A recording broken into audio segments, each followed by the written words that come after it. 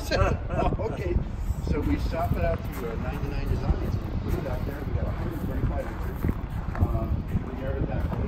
Post it on social media. let people vote. And then we walk away with the that right there.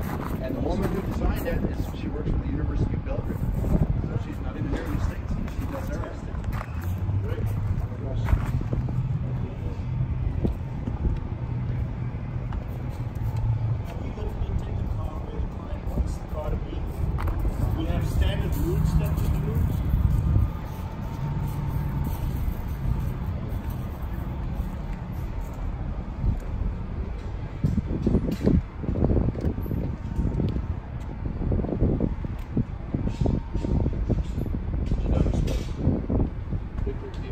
Mm-hmm.